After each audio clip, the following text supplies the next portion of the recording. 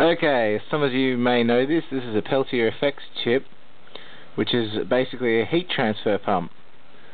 And this is actually totally frosted up. It's really quite amazing. Even the insulating piece of material around it here has frosted up,